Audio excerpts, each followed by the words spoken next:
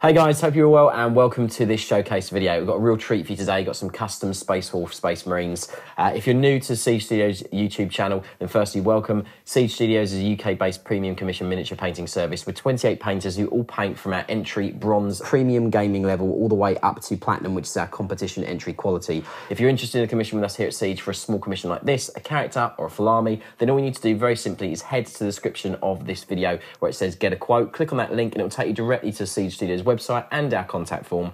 Once you're there, complete the contact form by selecting the relevant drop down options for your project from those available. And then also in the message section, include a list of models in our model list format, which is shown on there. Fire that off to us to get the process started and get a quote back from us. We're back in a second to have a look at these awesome Space Wolves in more detail. See you guys back in a sec. So let's dive in have a look at these custom Space Wolves. Uh, the whole project's been completed by Amy, one of the artists here at Siege. Really, really cool force uh, of models. Uh, and obviously they are obviously the Space Wolf uh, uh, pack kit, as you can see here. But also as well, what we've got is we've got Primaris heads on them as well, which is really, really cool. Um, just gives them a really, really different look as well, uh, as per our client request. and the colour is like an, an off-white kind of colour on them as well, which is really lovely. But you can see all the little details fully painted and highlighted to a really, really really sublime finish. Uh, got some freehand pack markings there on the shoulder pad, all the little extra details, all fully painted across the armour. Uh, and there is an edge highlight on the on the armour. It's just it's very bright here with the lights, but there uh, all the uh, armour panels are fully edged as well in a bright white as well. Um, really really cool models. Do love this guy's pose as well. Um, and then we'll have a look at what I would think would be the sort of pack leader. Um, he's got this lovely massive tassel here on top of his head. There's some free-handed sort of laurels on the helmet and markings as well, which is really lovely. Uh, so this is just him moving around just so you can see all the little details and everything fully painted uh, as well to a lovely fashion. And then we'll just move through the squad and have a look. Let's have a look at the other Power Fist dude. Uh, we'll have a look at these first of all. Lovely green lenses on all of these with a point of light source at the back of the lens and also some blending through the lens. Freehand sort of writing on all the scripture and things as well, which is really lovely. Uh, but lovely, lovely clean finish on these. But you can see every little detail fully painted. And that's just another one of them.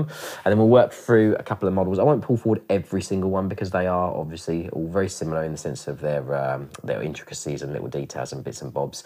Um, but as you can see, if you're familiar with the Space Wolf pack kit, you'll know obviously that they've got loads of detail on them. All the little areas of detail fully painted, all little runes and everything all done as well. Uh, but the gold done to a really lovely fashion as well, which is lovely.